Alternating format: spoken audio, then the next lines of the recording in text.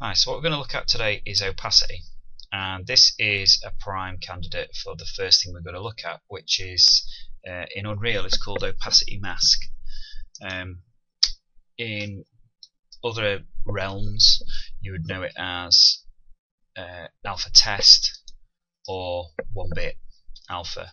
Basically this is a simple alpha function where if we look at the wireframe of this Ignore the yellow because that's the sphere in the background. Basically, it's lots of planes. In fact, if we look at it on the model, um, wireframe, you can see it's just lots of lots of planes, and essentially the texture that's applied to the top of it um, has an alpha channel, which essentially stencils out some of the stuff so you can see it, and the rest of the stuff is um, completely see-through.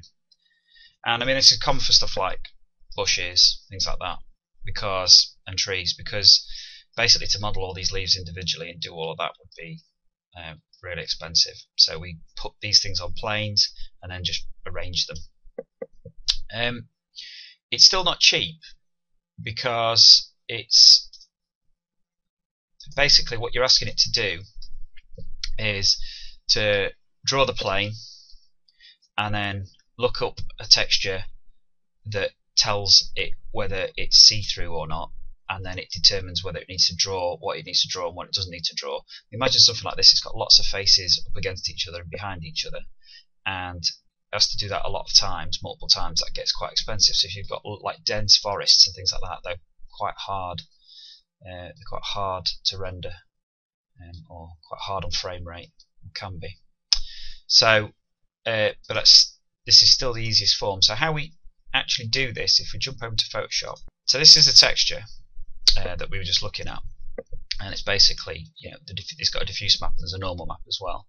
Um, if you look in the channels, we've got red, green, blue, and then we've got alpha on the end.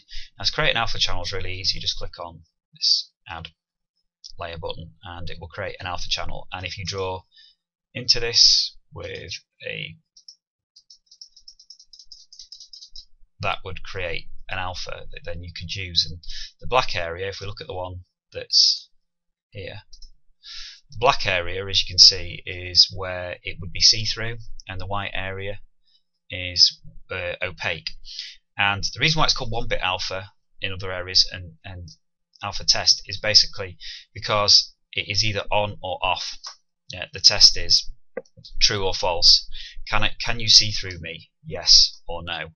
Um, and that makes it simpler uh, than if you wanted to like create something with a gradient across it. Because if you had something with a gradient, it would be it would have to do you know zero to 255, 256 gradients change, which if you lay lots of things behind each other, means every time it has to calculate not only am I see-through, but how see-through am I? So how much can you see the thing behind me? Uh, which you could imagine is a mine melter. Um, so we don't tend to use. So this is a this process doesn't use that. This is a nice. This is the cheap way of doing alpha, and it's the way that if you're going to do alpha using a texture, it's the one you should aim to do the most, um, and not try and blend things if you can. Okay, so let's set this up in Unreal. Uh, our own version of this. So uh, if I create a new material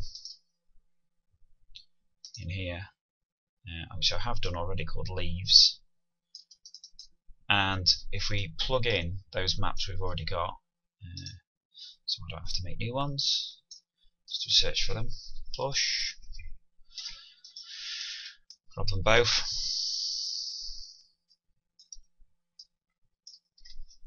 drop them in. Basically, you plug your color into your base color and you plug your normal into your normal as you would normally.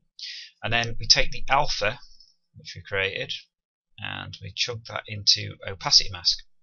Now you can see this is grayed out because basically we can't actually access opacity mask at the minute. Um, the way we do that is if we click on this, uh, we can go down to blend mode and if we switch it to masked then it opens this up as an option.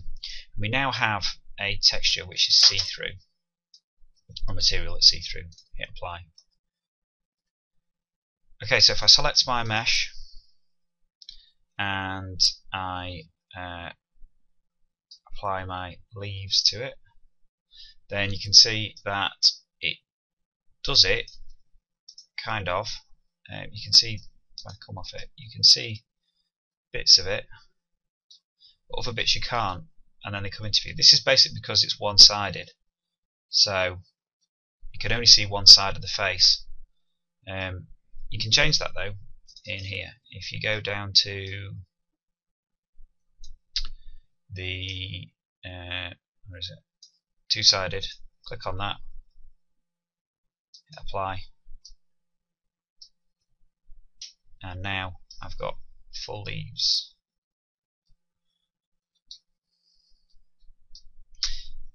Now, one of the issues you will have, I'm not really going to address now, but you can see it here, is that uh, the back sides are darker than the front sides. Now in most cases this is probably what you would want if you were going to make something double-sided, but it's generally not what you want on vegetation um, because it, by having the darker side it just highlights the fact that they're planes even more than the fact that they are planes does. Um, so we need to address that. But I will talk about that when we deal with foliage, which will be later on down the line. Um, so yeah, so that's basically it. That's opacity mask. Um, it's quite simple. It's as as opacity stuff goes, it's relatively cheap. Um, although none of this stuff's particularly cheap. But for things like this, or like maybe ornate railings or things like that, then this is the sort of thing you would need to use. Basically, it's on or off. That's it. That's all you get. You get no blending. Uh, we'll look at a blended version next.